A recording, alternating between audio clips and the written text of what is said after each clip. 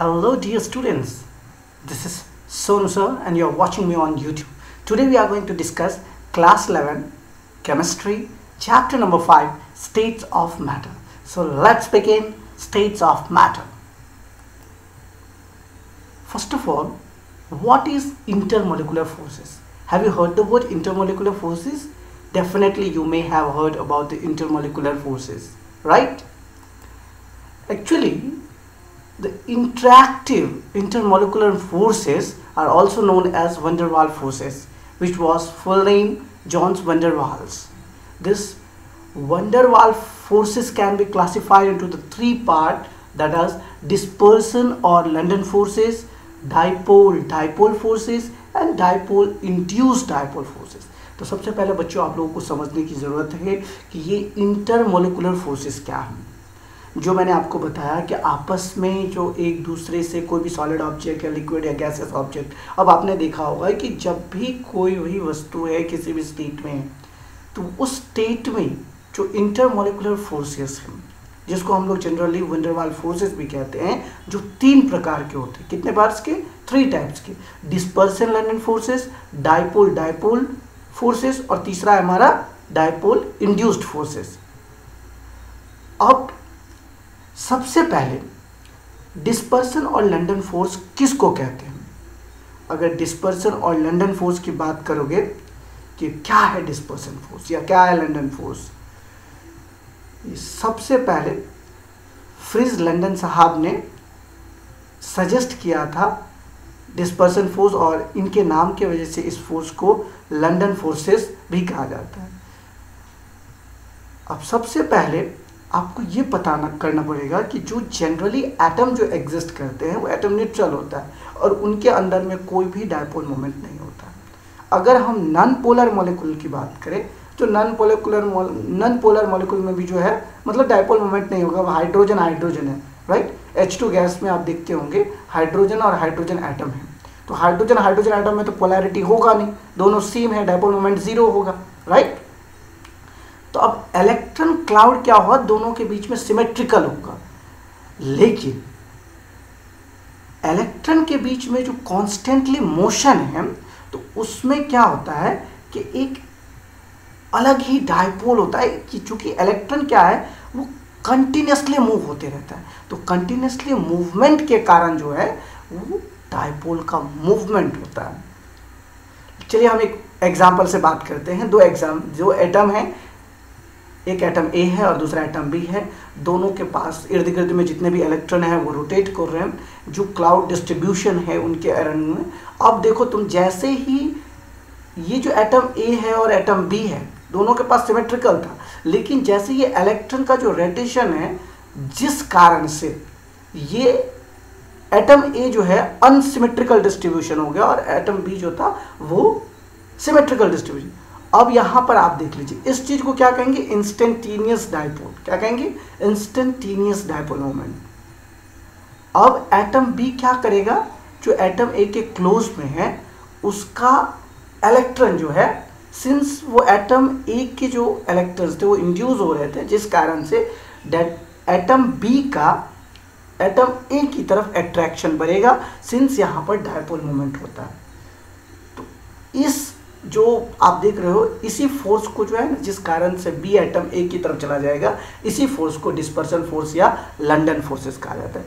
तो अब आपको एक चीज़ और यहाँ पर समझना पड़ेगा कि इन दोनों का जो रेंज होता है, कि किसी भी ये जो आप पूछोगे डिस्पर्सन फोर्स का रेंज क्या है, सबसे छोटा कौन सा है तो उसका शॉर्ट रेंज है 500 पिकोमीटर्स और जिसका अगर आप मैग्नीट्यूड की बात करें लंडन फोर्स का तो it is inversely proportional to r to the power six मतलब London force proportional one upon r to the power six जिसको इनवर्सली प्रोपोर्शनल भी कहा जाता है। क्वेश्चन आपको ये समझना है यहाँ पर कि एटम ए और एटम बी अट्रैक्ट कैसे हो गए।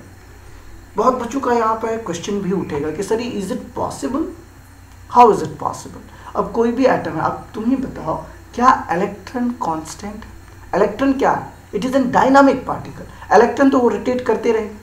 जिस तरह से आप देखो सोलर सिस्टम में अर्थ कभी कांस्टेंट होता है क्या? अर्थ जो है वो रोटेशन भी करता है और रिवॉल्यूशन भी करता है।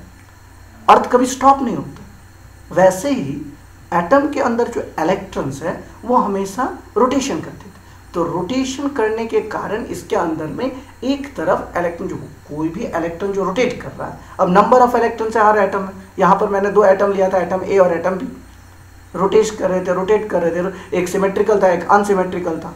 अनसिमेट्रिकल क्यों हो जाता है? कोई भी इलेक्ट्रॉन्स का क्लाउड एक तरफ़ चला जाता है, जिस कारण से अनसिमेट्रिकल हो जाता है। अनसिमेट्रिकल होने के बाद जो एटम न्यूट्रल भी था, जो सिमेट्रिकल भी था, वो भी इंड्यूस होकर के एटम ए की तरफ़ झुकने लगा। एटम ए की तरफ़ जो झुका, जो फोर्स के कारण जो झुका, उसी फोर्स को डिस्पर्सन फोर्स या फिर लंडन फोर्स कहा जाता है। इसका जो रेंज है कि मतलब कितने दूरी तक ये लोग मतलब इंड्यूस हो सके, कितने दूरी तक ये फोर्स काम कर सकता है, जो शॉर्टेस्ट रेंज है वो है 500 hundred into ten to the power minus twelve metre जिसको 500 हंड्रेड पिकोमीटर कहा जाता है। और इसका मैग्नीट्यूड जो है, जो लंडन फोर्स है, वो कितना होता है?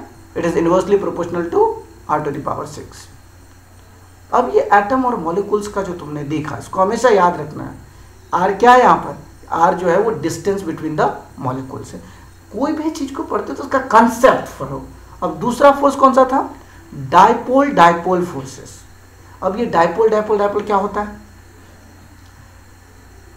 सबसे पहले डाइपोल डाइपोल फोर्सेस होता क्या है? डायपोल डायपोल फोर्सेस जो होते हैं, वो अट्रैक्ट करते हैं बिटवीन द मॉलिक्यूल्स जो जैसे तुम देख लो एच होता है या एच होता है डेल्टा प्लस डेल्टा माइनस के बारे में तो सुना होगा ना? डायपोल डाइपोल फोर्सेस जिसको हम लोग कहते हैं, जो अट्रैक्ट करता है, जो इनका एक परमानेंट डायपोल है तो अब कोई भी पोलर पोलर मॉलिक्यूल के अंदर में क्या होगा?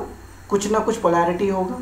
अब यहाँ पर देख लीजिए, जो अगर हाइड्रोजन क्लोरीन की बात करो, ठीक है? हाइड्रोजन क्लोराइड की बात करो तो इसमें तुमको पता है कि क्लोरीन जो है हायर इलेक्ट्रोनिगेटिव ये हाइड्रोजन के इलेक्ट्रॉन्स को अपनी तरफ़ खींचेगा। खींचेगा या नहीं खींचेगा? इधर देखो हाइड्रोजन से क्लोरीन की तरफ़ जा रहा है। तो अब यहाँ पर क्या हो गया? हाइड्रोजन का जितना था, वो कुछ चला गया पार्ट क्लोरीन की तरफ़। इसलिए उसके ऊपर में डेल्टा पॉजिटिव और क्लोरीन जो लिया है तो उसका डेल्टा नेगेटिव हो गया। अब यहाँ पर देख लो, ये एक पोलर मोलिकुल हो गया और एक दूसरा जो है पोलर मोलिकुल हो गया। तो अब क्या होगा? देखो यहाँ पर क्लोरीन और हाइड्रोजन तुम जानते हो कि ये दोनों पोलर मोलिकुल के तरफ़ जो दिख रहे हो तुम, अब ये डाइपोल डाइपोल इंट्रैक्शन होगा दोनों के बीच में। और इस कारण अब जो है तुमको अब कोई पूछेगा कि किसका बॉइलिंग पॉइंट हाई होता है? पोलर कोविलेंट या नॉन पोलर कोविलेंट मोलिकुल तो पोलर कोवेलेंट क्यों होता है? क्योंकि वहाँ पर डायपोल डायपोल फोर्स स्ट्रांग होता है। वो लंडन फोर्सेस से ज़्यादा स्ट्रांग होता है। यहाँ पर देख लो ये हाइड्रोजन बॉन्डिंग नहीं है, याद रखना। ये डायपोल डायपोल फोर्स लेकिन अगर इसमें बात करें हम आयन आयन इंट्रैक्शन का तो आयन आयन इंट्रैक्शन वीकर होता है डायपोल डायपोल फोर्सेस से। क्यों? क्योंकि डायपोल डायपोल इंट्रैक्शन एनर्जी जो होता है, वो रेडियस का सिक्स पावर जो है इमोशनल होता है। आर क्या है?